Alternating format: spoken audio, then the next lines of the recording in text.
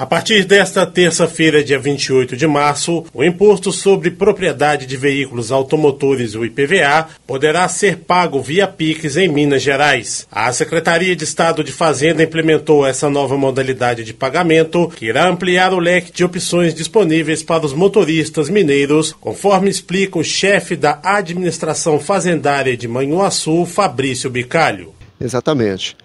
Quem fez o teste conseguiu observar que desde ontem já estava disponível, mas oficialmente hoje está sendo disponibilizado.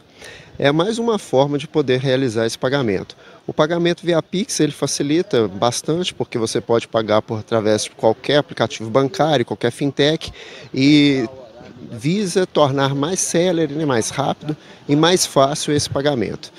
A gente quer alertar também que a Secretaria de Fazenda não envia código, não envia nada via celular, via e-mail, a gente não faz esse envio. É muito importante a pessoa ficar atenta a isso para não cair em golpes que a gente sabe que são muito comuns. E para você conseguir fazer essa emissão é muito simples, basta você ter o Renavan do veículo e com o Renavan do veículo através do site da Secretaria de Fazenda você consegue fazer essa emissão.